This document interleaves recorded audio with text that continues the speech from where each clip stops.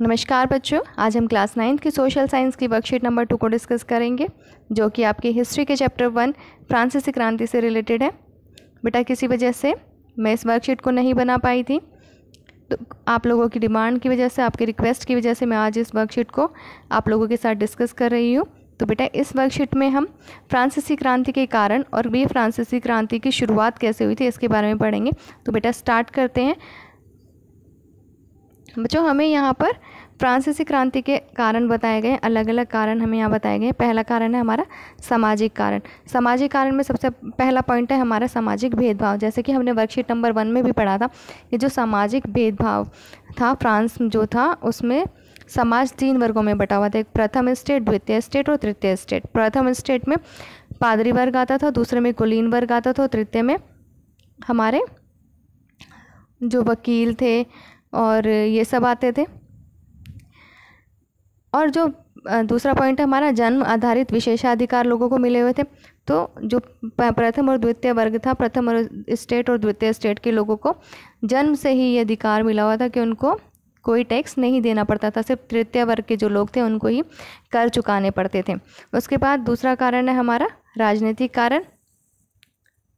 इसमें कमज़ोर शासन जो राजा था, उसका जो शासन था, वो बहुत कमज़ोर पड़ गया था। और लुई सोलह की नीतियाँ, जो लुई सोलह ने नीतियाँ बना रखी थी, इनके बारे में हम आगे इस वर्कशीट में भी पढ़ेंगे। बहुत ही बेकार नीतियाँ थी, उनकी अच्छी नहीं थी जो जनता जिसके, जिससे बिल्कुल भी खुश नहीं थी, इस कारण से फ्रांसीसी क्रांति का जन्म हुआ। नेक्स्ट है हमारा आर्थिक कारण। आर्थिक कारण में पहला हमारा पॉइंट है, खाली राजकोष। जब लुई सोलह राजा बना, उस समय पर उसने पाया कि जो राजकोष है, वो तो खाली पड़ा है और जो वित्तीय संसाधन है, वो सब खत्म हो चुके हैं, नष्ट हो चुके हैं। क्योंकि जो बुरबु राजा थे, वो अपने आलिशान, उनके आलिशान जीवन की वजह से सारा राजकोष खाली हो चुका था और जो युद्ध होते थे उस समय पर, उनकी वजह से भी सारा राजकोष खाली हो चुका था, सारा पैसा युद्धों में लग गया था। इवन इन युद्धों की वजह से ही बहुत सारा कर्ज जो था, फ्रांस पर हो गया था और कई अरब लिब्रो का कर्ज़ यहाँ पर हो गया था। तो युद्ध की वजह से सेकंड पॉइंट भी हमारे यही है कि युद्ध की वजह से कर्ज हो गया था। अब जो कर्ज़ा हो गया था, उसकी वजह से क्या हुआ कि जो वस्तुएँ थी, उनकी जो कीमत थी वो बहुत ज़्यादा बढ़ गई। जो खाने पीने की चीज़ें थी, वो भी बहुत ज़्यादा बढ़ गई। और एक तो कीमत बढ़ गई और दूसरी ओर ना तो उत्पादन बढ़ पा रहा था और ना ही किसी की मजदूरी बढ़ रही थी, जिससे कि लोगों का जीवन जो था वो उसमें जीविका संकट उत्पन्न हो गया था, जिससे लोग अपना जीवन ठीक से नहीं बिता पा रहे थे, जीवन निर्वाह नहीं कर पा रहे थे, अपनी रोज़ी रोटी भी नहीं चला पा रहे थे, जिससे कि लोगों में एक क्रोध उत्पन्न हुआ था, जो भी फ्रांसीसी क्रांति का एक महत्वपूर्ण कारण वो भी एक बना था। उसके बाद दार्शनिकों की भूमिका। जॉन लॉक और रूसो जैसे कुछ दार्शनिक थे जिनका कहना था उन्होंने लोगों को जागरूक किया उनके अधिकारों के लिए, उनकी स्वतंत्रता के लिए, समानता के लिए। उनका कहना था कि लोगों को जन्म आधारित विशेषाधिकार नहीं मिलने चाहिए। वो कहते थे कि किसी भी व्यक्ति को है, उसकी हैसियत की उसकी हैसियत जो है, उसकी योग्यता से निर्धारित की जानी चाहिए, ना कि उसके स्तर से, ना कि उसके पैसे से।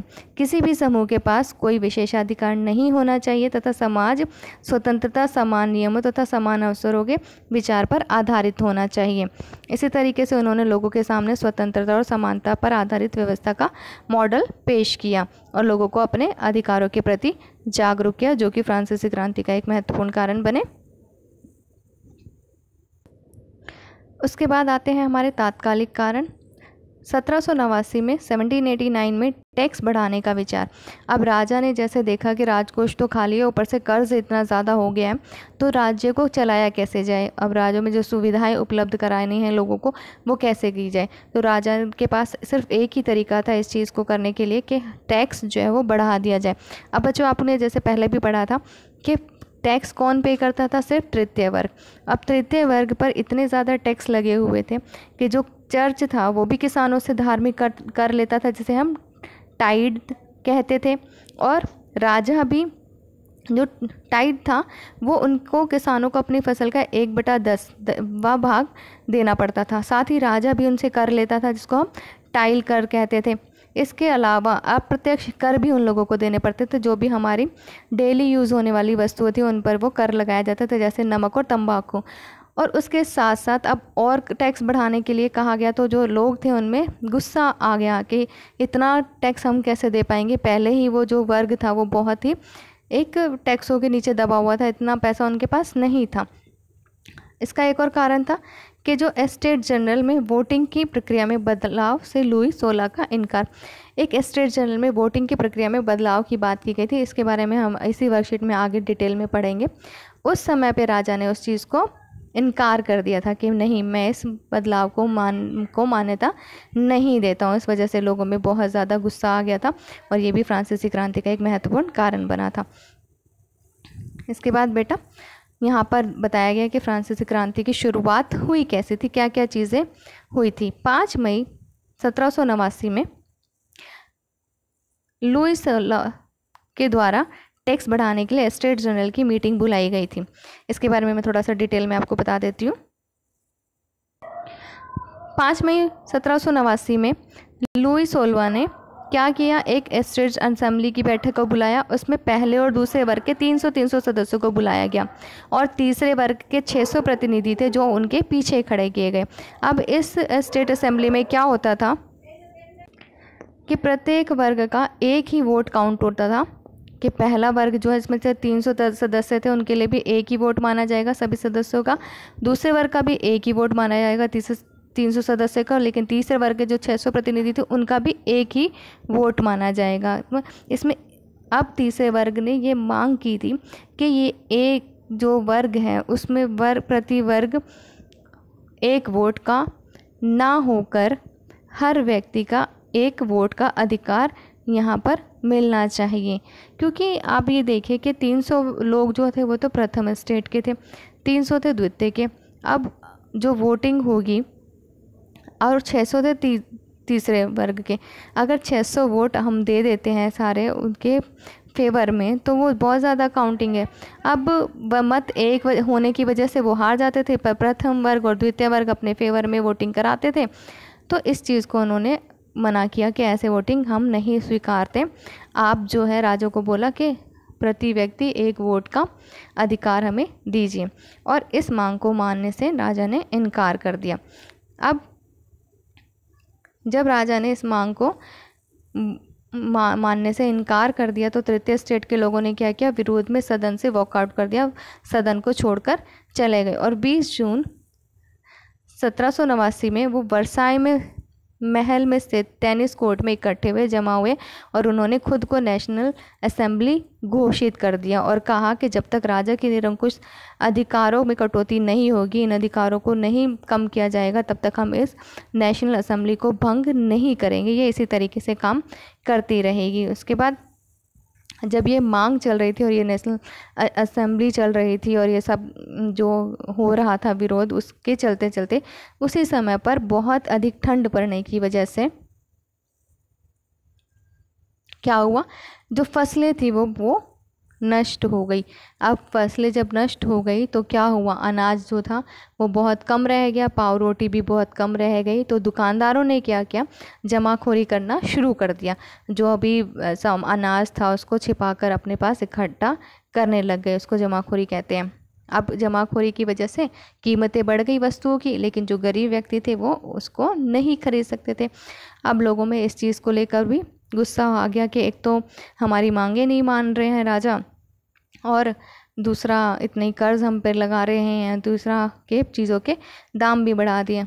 अब लोगों ने क्या किया कि दुकानों में घुसकर लूटपाट मचाना शुरू कर दिया। जब राजा ने देखा कि जनता इतनी हावी हो गई है तो राजा ने सेना को कूच करने का आदेश दिया। उन्होंने कहा, सेना को शहर में भेज दिया। लेकिन इस सबके चलते। यह अफवाह फैलाए दी, फैला दी गई है, अफवाह फैल गई थी कि 14 जुलाई सत्रह सौ नवासी में क्या हुआ कि जो सेना आई है, उस राजा ने उसको आदेश दिया है लोगों पर गोली चलाने का। अब इससे जो इस आदेश से, इस अफवाह से जनता और ज़्यादा भड़क गई और उन्होंने क्या किया? चौदह जुलाई सत्रह सौ नवासी में बास्तील के किलों को ध्वस्त कर दिया, जो कि राजा की निरंकुश शक्तियों का प्रतीक था। अब राजा ने देखा कि जनता में इतना ज़्यादा रोष उत्पन्न हो गया, इतना गुस्सा उत्पन्न हो गया तो राजा समझ गया था कि जनता पर अब उसका अधिकार नहीं चलने वाला है। और इसी तरीके से फ्रांसीसी क्रांति की शुरुआत हुई थी। और इसके बाद चार अगस्त सत्रह सौ नवासी की रात को असेंबली ने क्या किया? करो, कर्तव्य और बंधन वाली सामंती व्यवस्था को ख़त्म कर दिया। जो कर लगाए गए थे जो सामंती व्यवस्था थी उसको ख़त्म कर दिया और पादरी वर्ग के लोगों को भी विशेषाधिकार छोड़ने के लिए विवश कर दिया। उनको मजबूर कर दिया कि जो तुम्हें विशेषाधिकार मिले, ये सब खत्म होंगे।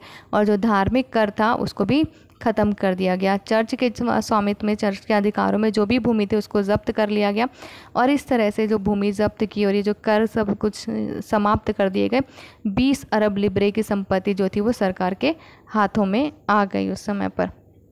तो बच्चों, यहाँ पर ये वर्कशीट कंप्लीट होती है। इसका जो एक्सप्लेनेशन है वो यहाँ पर कंप्लीट होता है। आई होप आपको ये वर्कशीट समझ में आ गई होगी। अगर आपको कोई चीज़ समझ नहीं आई है तो आप कमेंट सेक्शन में कमेंट करके पूछ सकते हैं।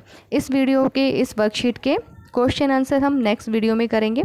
तो तब के, तब तक के लिए बच्चों bye bye have a good day बच्चों।